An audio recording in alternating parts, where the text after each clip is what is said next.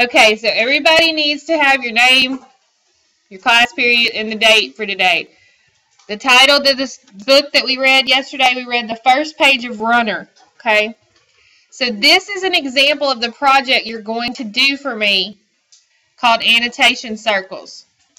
And in annotation circles, we're going to talk about the different types of reading. This is the different kinds of reading you're going to learn about this year. So everybody knows how to do basic reading where you just read what's on the line. So I need you to write that inside that first circle, reading on the lines.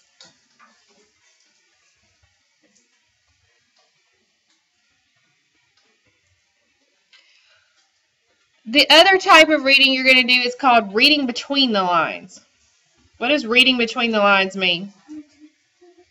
Use context clues. That's a good answer. What else? Annotate. There's a usually a word that we use that starts with an I. You have to do something. Infer. Infer. Good job with infer. Okay. So reading between the lines is when you infer things from what you've read. And then there's reading beyond the line. So reading beyond the line that's on the text, if you read beyond the line, this is when we start talking about themes in literature, okay? So when you had to do themes last year, there were some requirements about themes. First of all, when you think about a theme, Eileen, what would you think about? What is a theme? What does it mean when someone says theme? Um.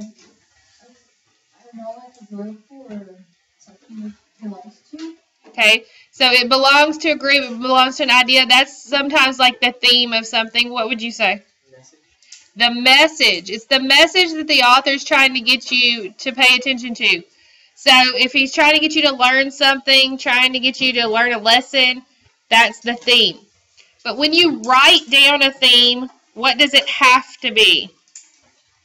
Like grammatically. So are you just going to write down hope is the theme? Say what you just said again. It has to be in a complete sentence. So for your project, you're going to come up with two theme statements. So for your project, you're going to take something that you're reading right now for Project 20. But to show you how we're going to do this, we're going to use something from Runner yesterday. This middle paragraph is one of the paragraphs that we read last year.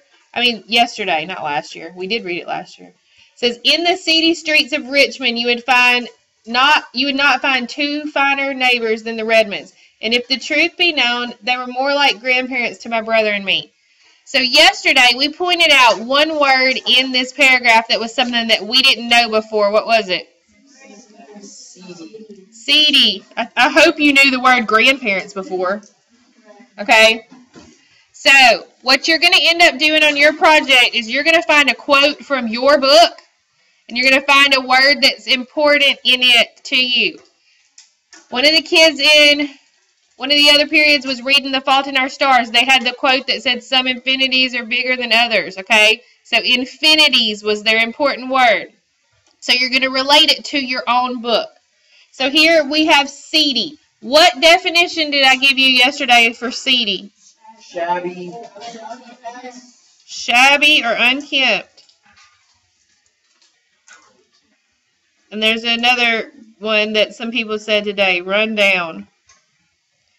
So part of your grading is you do the quote, you find the important word that needs to be defined. Don't pick a basic word like trees, rock. It's not important, okay? So it's going to be something that you didn't really know, but it has importance to the meaning of your story that you're reading. So reading on the lines is just telling us the word, telling us what it means, because we're just doing the surface layer reading. Now, reading between the lines is something different entirely. We're going to have to start inferring things. Everything in reading between the lines in this circle needs to refer back to the word seedy. So if we're going to do that, you're going to do it with pictures. It's a picture of the seedy streets of Richmond. So this is like a clip art picture of a neighborhood. When you do your project, it has to be in color. So you're either going to color, draw and color the pictures, or you're going to print out little pictures that are in color. Don't print out black and white pictures, okay? Because part of your grading requirements is that it has to be color. So what I'm going to do is I have to take this and relate it back to seedy. So I'm going to say the seedy neighborhood they lived in. If a place is seedy, what do you expect it to look like? So it's going to look run down. I need you to use words that aren't already in that definition that we just wrote down. It's going to look old. What else? Somebody said nasty. What's another word for that? Starts with a D. Disgusting. Disgusting. Dirty. Crowded. Full of trash. So I took an image. I talked about in between the lines, even though they're not telling us that there's old buildings and it's dirty and it's full of trash, you know that if you know it's the seedy streets of Richmond.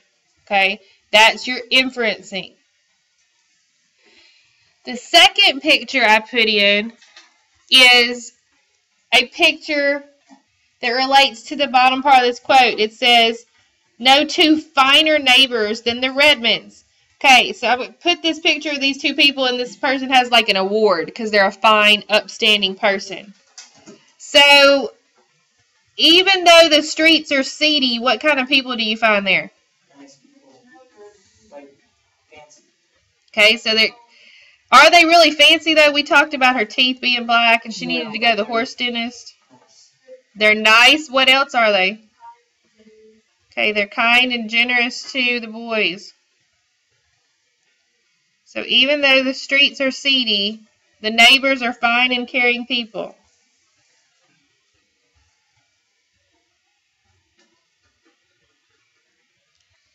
So do you see how even though these pictures are not in the story, they still relate back to seedy. They illustrate what you should be inferring. Okay. So this last picture that I'm going to put up, what I need you to do is we're going to do something called pair share partners. Okay. So I'm going to put this picture up and you guys are going to turn to one another in your rows. You two rows. You guys talk amongst your own row. Y'all turn together. Y'all turn together. Y'all talk amongst your own row. You two and you two. Okay, so I'm going to put this last picture up. And I need you to look at it and talk about how could you relate it to seedy and the story. Okay, so I did the first two. You're going to do this one. Y'all talk to each other. So those were good answers. That made sense. So what I need you to do is copy it down, okay? What you guys said was great. Family can still be found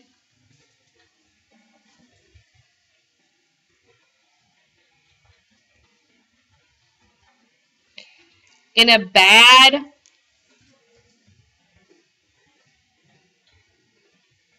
seedy neighborhood.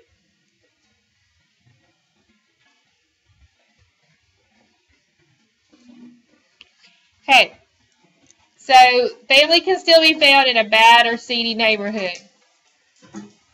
So now, because theme is usually the hardest thing for you to come up with,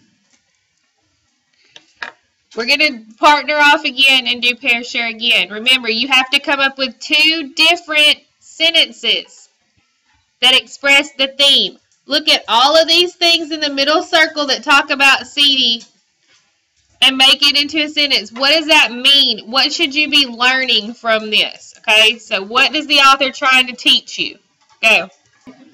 Okay, guys, while you're thinking about this, stop for a second because remember, we're reading beyond the lines. One of the things that got pointed out in one of the other class periods the name of the town is Richmond. If you look at the root of that word, Richmond means rich man. Are these people rich? Okay, the author didn't just pick that for no reason. Okay, he was using irony there. So think about that too when you're looking at your theme. So for the two thematic statements, I'm going to write in my circles just from listening to you guys' ideas. The first one I'm going to say is even in bad places, there's still hope. Even in bad places, there's still hope. Because remember, we want to avoid cliches. So we don't want to say there's light at the end of the tunnel or don't judge a book by its cover. Okay? So even in bad places, there's still hope. My second thematic statement relates to what you guys just said, okay? So even though people don't want to be in a seedy place,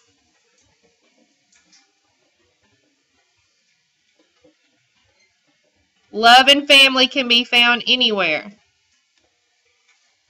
Okay, you need to make sure that at the end of those thematic sentences you put a period because the grading on punctuation is going to be part of the grading for your project. Okay, so your project's going to be due Tuesday. I'm going to give you a blank version of this. You're going to use it on your own story. So right now I'm going to show you the rubric of how I'm going to grade it. Yours is going to look like this. You're going to have actual color pictures. Remember, you can either color them yourself or you can print them in color, but they have to be color. That's part of the rubric. Let's look at the rubric. Okay. To get a 90 to 100, you're going to have your keyword selected. What was our keyword? Seedy. Okay, so we're going to have a quote that reflects the word's significance in the story. So don't just pick a random quote that has a word you don't know in it and try to relate it to the story. It has to make sense, okay? Give multiple definitions of the word. We said seedy meant unkempt and shabby and run down. Those were three different definitions. The part that people have trouble with getting that higher part of the gradient is this one that says place the word in context of the whole work. We talked about why seedy was important to the neighbors, to family, to what the place looked like in setting. So we did that in our example. You're going to have colorful images or objects that show the significance. You have to have three of them. Two thematic statements derived from the word, tying the word to the whole work, just like we did. We're not going to write the essay, so you don't have that part. And make the work neat, colorful, and correct. To get an 80 or a 90, you're going to have grammar errors. It's not going to be as bright and vibrant and colorful as it should be. But for 70 to 79, it's going to be hastily and thoughtlessly done. That means I'm going to send you a remind on Monday to remind you your project's due and you're going to write all this scribble scrabble down that I can't read. That's when you're going to get this low of a grade. So be sure that your writing is legible, okay? This is how your project is going to have to be done. So you have from today until Tuesday this week to get done. Yes, it's a daily grade.